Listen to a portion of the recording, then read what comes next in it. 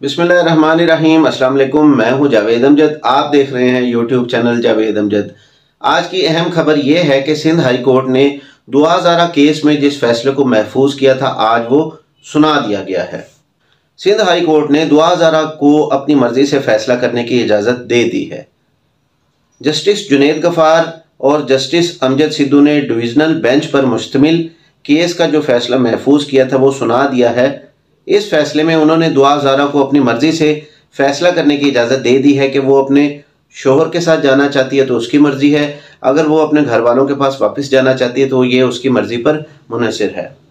फैसले में मज़ीद ये कहा गया कि दुआ जहरा के जो बयान हल्फी हैं या फैसले में दीगर जो शहादात सामने आए हैं, उससे ये साबित होता है कि दुआ जहरा के अगवा का जो मुकदमा बनाया गया है, वो मुकदमा बनता ही नहीं है।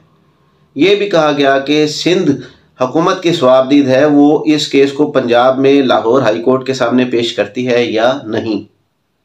तफ्तीशी अफसर को हदायत की गई है कि ट्रायल कोर्ट में जो ज़मनी चालान पेश करे और मेडिकल सर्टिफिकेट और दिगल मामलात जो मंजर आम पर लाए गए हैं, उसकी भी नकूल को ट्रायल कोर्ट में जल्द से जल्द पेश करे।